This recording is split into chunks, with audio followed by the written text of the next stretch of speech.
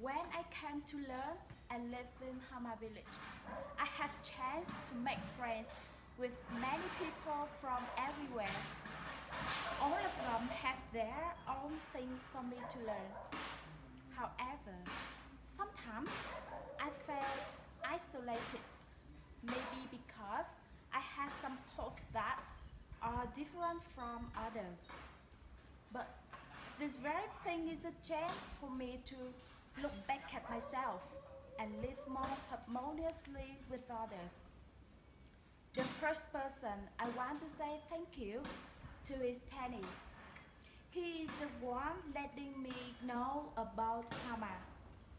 Tanny always listens to me and helps me whenever I have difficulty during the whole time I'm here. Besides, Tiffany.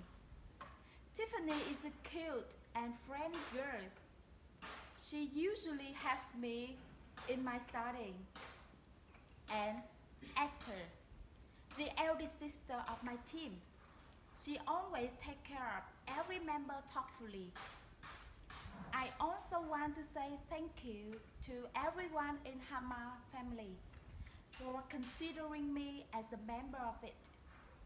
I hope that after leaving Hama, all of you will success in the ways you choose. I will never forget you and the time I'm here. Love you.